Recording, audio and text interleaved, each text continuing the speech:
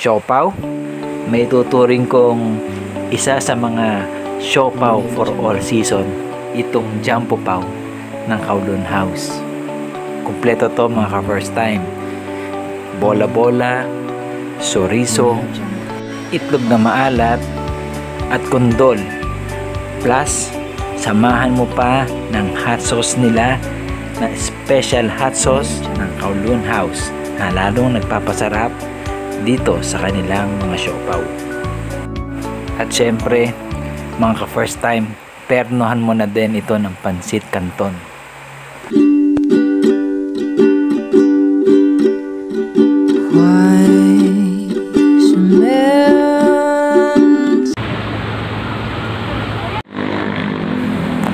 Kowloon House. Ah, specialty nila dito yung siopaw.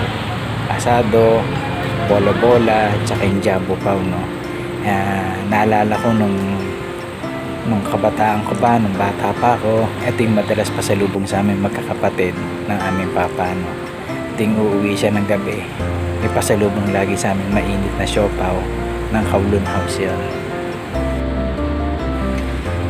bigla kami nag-crave ni Lori ng siopaw at si Lori naman yung pansit canton. So, naisipan namin pumunta rito kagad sa Kowloon House.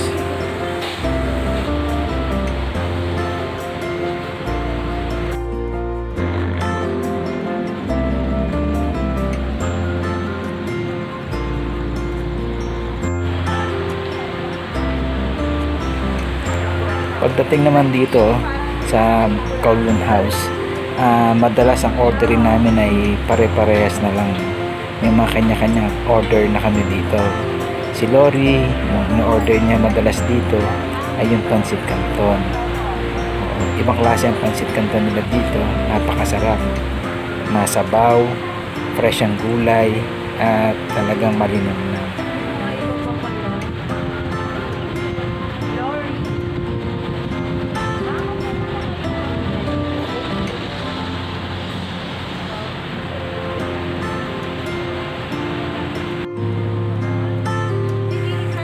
At syempre, no, mga first time, si Kowloon House, hindi siya nagpapahuli. Sumasabay na rin siya sa mga nauuso nating mga milk tea ngayon. Kanya, hindi lang siya sumabay, napakalaki pa ng kanyang milk tea dito. No? At napakamura. Sa halagang 85 pesos, may 1 liter ka ng milk tea.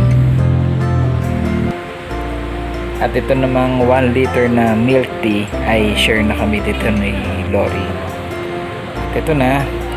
Ah, tapos na rin yung order ni Lori na pancit canton. Ah, ako naman ang order. Ah, yun lang naman ang madalas ordering ko dito no? Yung jumbo pao ah, ito na yung ultimate favorite ko rito eh. ito lang lagi ang paulit-ulit kong order dito. Kulang ang sarap ng jumbo pao mo dito mga ka first time kung hindi ka hihingi ng hot sauce nila no? So madalas ako dito humingi ng extra hot sauce nila. Isang maganda rin dito no? Isa-serve sa iyo yung siopaw mo na napakainit very fresh. Kaya naman mga ka first time dito pa lang sa likod ng sasakyan ay kinakain na namin to. Madalas ganito lang lagi kami dito. Ah, sa loob na ng kotse namin to kinakain hindi na namin to na iuwi sa bahay dahil gusto namin to na mainit na mainit habang kinakain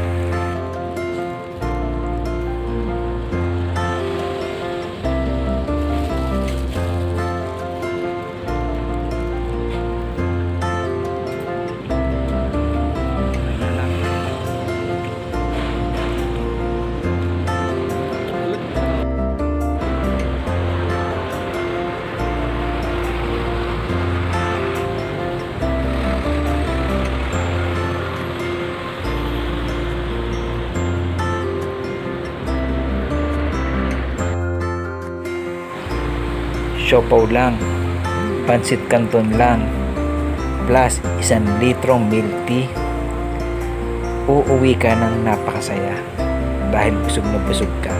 Ang sarap!